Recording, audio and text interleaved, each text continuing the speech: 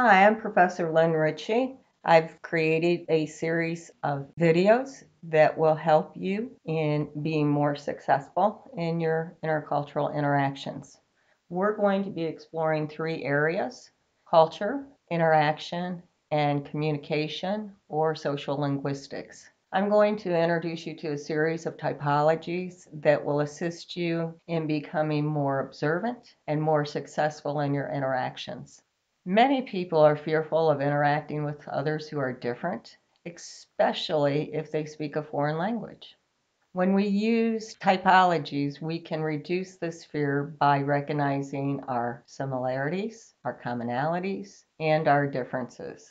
When we recognize our commonalities, it is easier for us to be less judgmental of our differences and we can adapt our behavior to have more successful interactions. Let's look at typologies a little bit deeper. When we think about typologies, we can recognize that all sciences use typologies and taxonomies to observe the behavior of the subject matter that they are studying. When we use these typologies, we can be more objective in our observations. We can also replicate observations from other scientists. And we can observe the differences and similarities of the properties of various elements, like chemical elements, biological differences, human behavior differences. But every science is using some type of typology to classify the elements one of the behavioral typologies that you might be familiar with is the personality type. In the USA, we often attribute the cause of individual behavior to personality. The Myers Briggs type indicator is probably the most recognized typology to assess personality types and is widely used in business settings. In fact, you may already know your Myers Briggs type. The MBTI identifies four key dichotomies that combine to create only 16 personality types. That's right, only 16 personality types in the whole wide world. Let's look at those dichotomies. The first one is extroversion, introversion. The second is sensing and intuition. The third is thinking and feeling.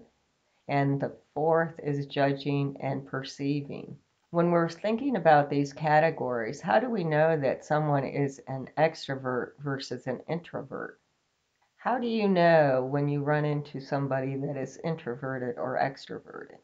When I used to, to teach this class face to face, my students always classified me as an extrovert. And how they did that was they observed my behavior.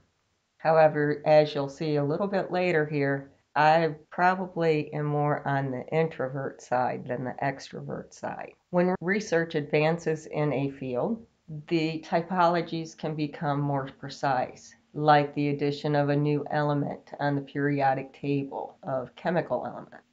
In psychology, the five factor model or the ocean model has gained in popularity to describe personality types. In fact, researchers which suggest, cross-cultural researchers which suggest that these personality dimensions are universal. And by that I mean that they are found in every single culture, every single society. So we're down to five personality dimensions. If we're, we're beginning to classify people in terms of these dimensions, these dimensions seem to be applicable wherever you are in the world. Let's look at these five factors. The first one is openness to experiences. This is how cautious or curious we are. It deals with our intellect and our imagination. The second behavioral factor is conscientiousness, and this is how organized or careless we are in, in our day to day life and our day to day activities. Extroversion is the third factor, and this is how outgoing or reserved we are, very similar to the Myers Briggs classification. Four is agreeableness, which is how friendly or challenging we are in our interactions with other people. And the last factor is neuroticism, or how nervous, confident we are. It is getting at the idea of emotional stability. you're going to discover that you are already using typologies in your everyday life as you assess your situations and your interactions with other people. I'm only going to be introducing you to some more formal concepts and language that helps you to organize your observations. These typologies have been created using research and statistical techniques that help us to identify behaviors that cluster together. And I'm going to present the very basic behind the typologies. I won't go into all of the statistical research that has gone into the development of these typologies. Just know that there's a lot. Let's go back. Let's get a little bit deeper so we, we truly understand what we're talking about when we look at typologies, especially behavioral and societal typologies. Let's take a look at that uh, five-factor model or the, the ocean model. What I want you to do is to first begin by taking the five-factor model personality test. I've included a link in the comment section and it's also listed here in this video if, if the link doesn't work in the comment section. Be sure to record your scores and be sure to pause the video while you're, you're working on this part. Okay, it'll probably take you about 10 minutes I would say there's 50 questions, so however long it takes you to read and assess those. And I have put my scores here so you can see who I am in terms of my personality type. Factor one, which is the extroversion uh, dimension, I am scoring 37 in the 37th percentile, and this means that 63% of the people who have taken this test score higher than I do on extroversion. So I'm more on the introversion side of the equation that I'm on the extroversion side in terms of my behavioral preferences. The second factor is that emotional stability or that openness to the neuroticism, emotional stability. I'm scoring 97 percentile on that, that means that I'm probably more emotionally stable than 97% of the people who have taken this survey. In agreeableness, that's how we present ourselves in a, in a situation. I'm scoring 51 because I can be friendly, but I also know that I can be challenging. I think that's the educator in me.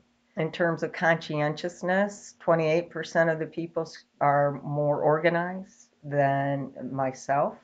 And in terms of intellect and imagination, only 9% of the people are scoring higher on that dimension than I am. That makes sense to me as a person that has a doctorate and as a sociologist, it makes sense that would be a high score. Now, what I want you to do now, now that you get a sense of your personality and everything, I want you to, to take a step back and, and let's look at how useful this can be as we're interacting with other people and why we're using this information. I want you to go back to the survey and I'm going to write down the items on the survey. There's 50 items on the survey that you answered. And what I want you to do as I'm writing these out, I want you to begin to classify it into one of the five personality factors. Okay, once we get done with that, let's go back and look at those. And you can see if you classified them in the same fashion that I did. I'm only going to do the first 10, but I encourage you to to do all 50 just to see how they cluster together and and then you know move the questions that you think all cluster together into one column and see if that doesn't help you as you're trying to identify the personality of others around you. They should work regardless of the country they come from or the subcultural backgrounds that we come from Okay, for number one, I am the life of the party. I would classify that in terms of factor one, which is extroversion, introversion. Number two, I feel little concern for others. I would place that in terms of factor three. That's our agreeableness, how friendly we are um, in an interaction. If we have an interest in people, I would assume we would be more friendly. I feel concerned for others. I would put at F3, which would be that agreeableness. I'm interested in people. This is where I had a little bit of uh, struggle. I would probably put it in F3, agreeableness.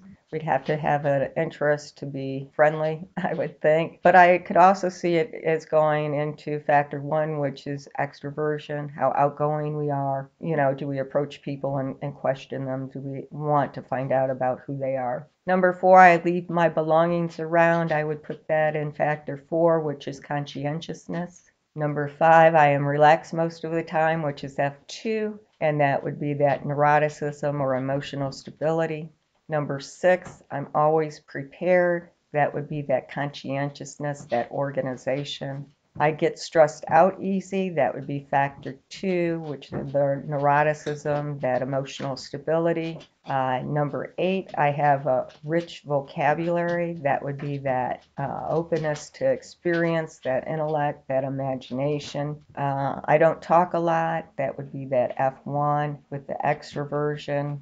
And number 10, I have difficulty understanding abstract ideas. That would be F5, which would be the intellect and imagination open to new experiences. So as you can see, what we're doing is if we look at all of these questions, we can see that they all are related to our behaviors in some way. And that's all typologies are doing is they're clustering a, a series of behaviors and making that into introversion or extroversion, and we label those behaviors based on the clusters. So this is what we're going to be doing all semester long. It will give us a way that we can identify what's common, and then we can go back in and, and we can look at our differences. How many of you scored higher than I did on extroversion? And what would that mean for our interactions with one another if we knew that? Or how, how would you approach me if you knew that I might challenge you within our interaction, that I might confront some of your ideas? How would that impact how you interact with me?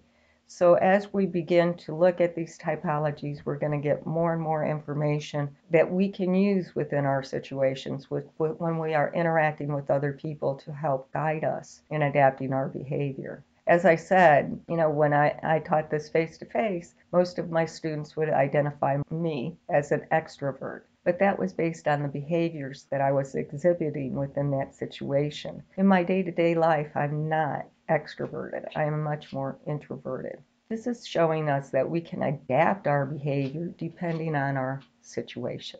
Okay, I hope you're going to enjoy this. Uh, we're going to be looking next time at uh, where did culture begin, and we're going to be looking at the ideas of Edward T. Hall. See you soon.